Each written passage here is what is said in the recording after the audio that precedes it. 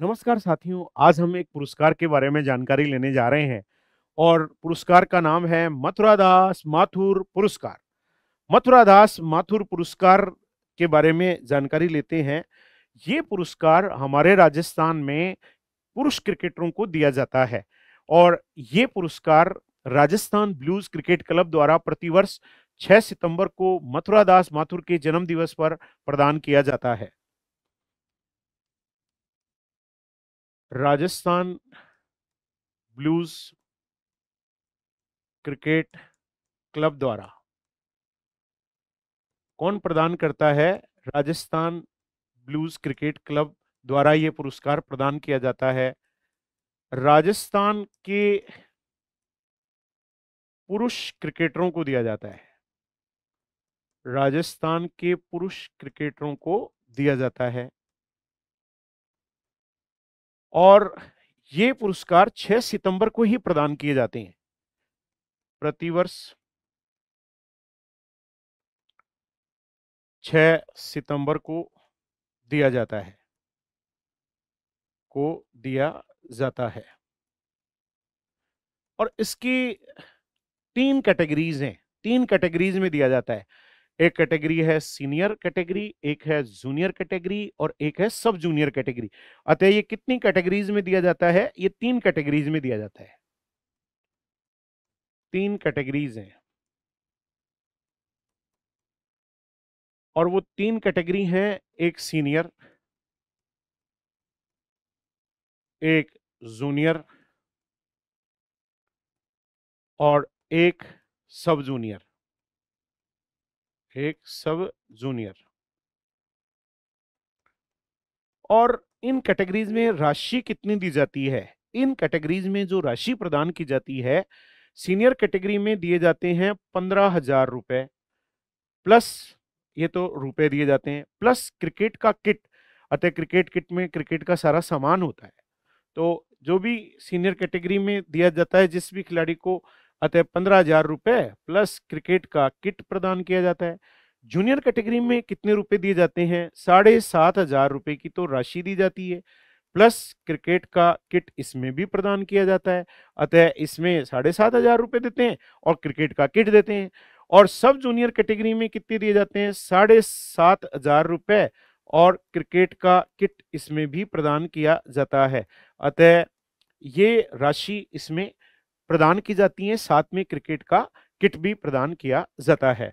अब अगर बात करें कि अब तक इकतीस मथुरादास पुरस्कार दिए गए हैं और इकतीसवां पुरस्कार 6 सितंबर 2024 को दिया गया है।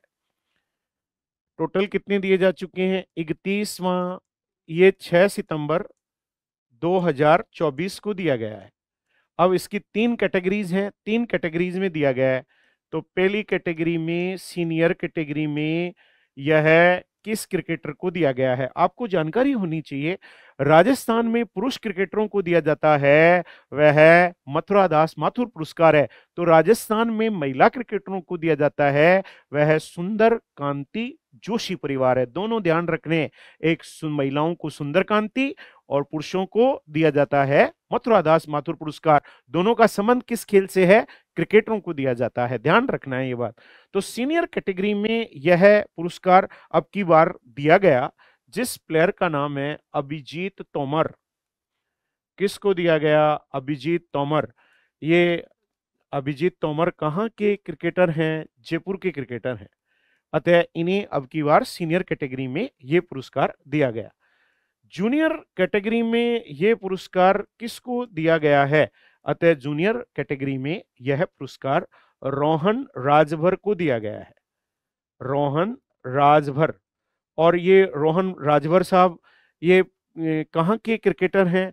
इनका जो संबंध है रोहन राजभर का, वह भी जयपुर से है। ये भी जयपुर के ही रहने वाले हैं। और तीसरे नंबर पर जो नाम आता है, सब जूनियर कैटेगरी में। अतः सब जूनियर कैटेगरी में किसको दिया गया है? तो सब जूनियर कैटेगरी में यह पुरस्कार रजत बघेल को दिया गया है। किसको दिया गया है? रजत बघेल को दिया गया है। और ये रजत बघेल साहब कहाँ के क्रिकेटर हैं? ये धौलपुर के क्रिकेटर हैं। अतः इकतीसवा जो मथुरा दास माथुर पुरस्कार है, जो 6 सितंबर 2024 को सीनियर कैटेगरी में अभिजीत तोमर को दिया गया। जूनियर कैटेगरी में रोहन राजभर को दिया गया तो सब जूनियर कैटेगरी में रजत बघेल को दिया गया। तो ये था हमारा मथुरा दास माथुर पुरस्कार, जिसकी जानकारी आपने ली। अगर आप और जानकारी अर्जित करना चाहते हैं यह हमारी राजस्थान करंट जीके की वार्षिकांक है।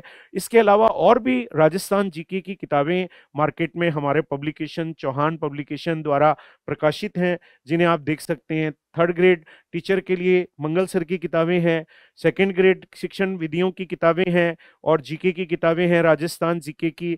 आरएएस के लिए हमारी ये किताबें मार्केट में उपलब्ध हैं और सीईटी के लिए ये किताबें मार्केट में उपलब्ध हैं और रीट के लिए हमारी ये किताबें मार्केट में उपलब्ध हैं। वो तो इनकी सहायता से और हमारा द्रोण ऐप विद्यार्थी हित में क्रांति की ओर अग्रसर हैं तो इनकी सहायता से आप अपनी तैयारी को और अच्छा अंजाम दे सकते हैं। तो आज आपने मथुरा दास माथुर पुरस्कार के बारे में जाना जल्दी ही हम आपके लिए और नई जानकारियाँ लेकर उपस्थित होंगे। तब तक के लिए धन्यवाद। जय हिंद साथियों।